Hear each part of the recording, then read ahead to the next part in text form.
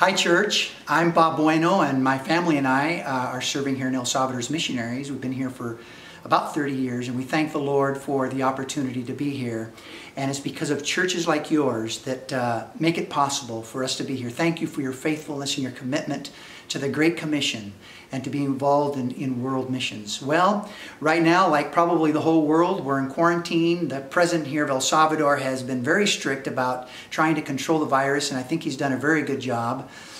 And so, of course, we don't have um, much much going on outside, but in, in our home, we're taking advantage of the opportunity to reach out to many people, especially through a ministry that we're involved with called ChildHope. We've got 37 schools spread out throughout the whole country, reaching out to 14,000 students. And because we're in quarantine, the students are studying from home. And uh, this gives us the opportunity to minister to their parents, to their family as well, because the parents are helping their kids do their studies and they have to do a Bible, a Bible study or Bible curriculum uh, one day a week. And then we have three devotionals that come on Facebook during the week, Monday, Wednesday, and Friday. And then we have prayer time at 5 p.m. for 15 minutes, um, five days a week, Monday through Friday.